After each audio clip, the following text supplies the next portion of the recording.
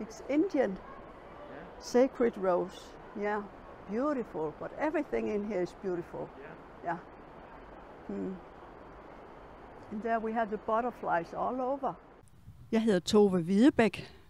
Jeg er 76 år, og jeg har været, øh, jeg har været politiker en del af mit liv, øh, og en, del, en anden del af mit liv, der har jeg været øh, gift med en præst. Altså vi var præstepar i nogle kirker.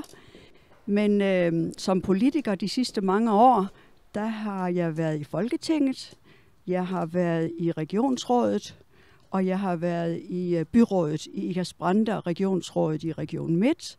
Og øh, i Folketinget, der var jeg i syv år, hvor jeg var formand for Socialudvalget i en periode. Og jeg er gift med Mogens Hvidebæk, øh, og vi har været gift i 55 år nu, og vi har to børn og syv børnebørn. Jeg elsker også Aarhus øh, på den måde, at øh, vi ser meget af Aarhus. Min mand og jeg går ture hver eneste dag, nok sådan en 5-6 km hver dag forskellige steder. Og de steder, vi også kan lide rigtig godt at gå, det er sådan noget som den gamle by, der er her tæt på Botanisk Have. Det er fantastisk med de gamle huse, der er, og det, man kan lære af historien der.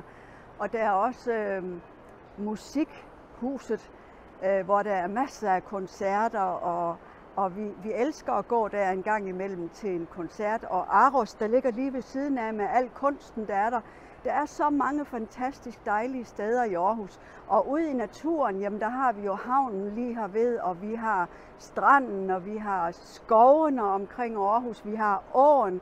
Jamen det er så fantastisk i Aarhus med det. Min mand er vokset op i Aarhus, så derfor kendte jeg byen lidt før vi flyttede hertil. Men øh, det er simpelthen en fantastisk dejlig by. Både som familie kan man komme rundt, men også som enkelt person, hvis man bare vil gå en tur og kigge. Og inde i byen er der jo et, et, et fantastisk liv hver eneste der inde på gågaden og alle de mange butikker, der er der. Så der er både til det travle bylivet, og der er også til, hvis man vil sidde helt stille ude ved vandet og bare kigge og, og, og tænke sig rigtig godt om, eller gå en tur i skovene. Det er helt fantastisk. Og jeg må sige, at hver søndag, så giver vi os selv en god oplevelse med at gå ind op til Marcelisborg Slot. Parken er nemlig åben hver eneste dag, undtagen når dronningen er der. Så der går vi en tur, når, når hun ikke er der, og nyder også den have. Men det er så meget at se og nyde og opleve i Aarhus, og jeg elsker Aarhus. Ja.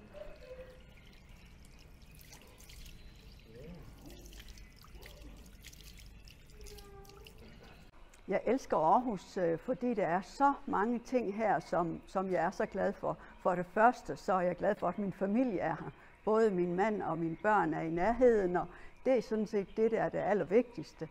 Men så elsker jeg også Aarhus, fordi der er så mange ting, som for eksempel Botanisk Have, som vi er her i nu med Væksthuset, hvor der er planter fra hele verden, både inde i væksthuset her, men også ude i den store botaniske have. Og tit, når vi går tur her, så ser vi jo familier med børn, og vi ser også børnehaver, der kommer med deres pædagoger. Og børnene har en vældig dejlig tid her, også på legepladsen, men også når de kravler i træerne. Det er et fantastisk sted for familier at besøge med deres børn. Det er det, er det fantastiske samarbejde på det sociale område, der findes i byen her. Alle folkekirker og frikirker og andre foreninger arbejder sammen om at om at hjælpe de øh, udsatte og, og de dårligt stillede mennesker i byen. Og øh, især op omkring øh, Aarhus Vest og Bispehaven.